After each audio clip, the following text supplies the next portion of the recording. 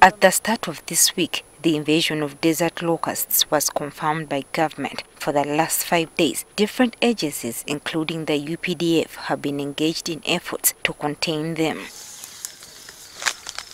In a press conference held at his home in Lukaya on Friday evening, Agriculture Minister Vincent Ssempijja revealed that the worst is yet to come because right now the locusts are still breeding and therefore not very active. And we are following, we are counting days. We know how many days it will take those eggs to, to, to hatch. If they hatch, immediately start spraying. However, the real fight against the locusts will start within the next 12 days when the locust eggs start to hatch. Their main activity is to consume, eat everything on earth, every green. Just count the days. 12 days, it will be a different war. Leo, this one we are just joking.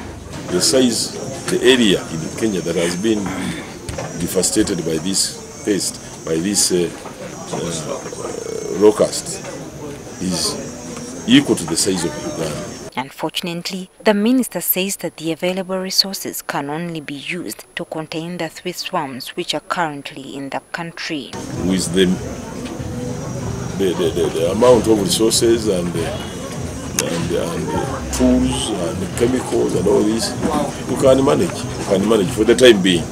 According to the minister, the current resources need to be increased exponentially if the locust threat is to be ably dealt with. Eight lorries for the for the human beings, for the soldiers. You need about four lorries for the pumps. You need about two lorries for the water water bowsers. Then you move. You can see it's a whole. Thing. It's really uh, uh, uh, an army itself. The terrain where the locusts have also landed is another hurdle that the ministry is going to have to contend with. These are, these are insects. They don't know whether there is a road. There is, they don't even know whether there is a boundary. They don't know your religion. They don't know anything. They are just doing their own thing.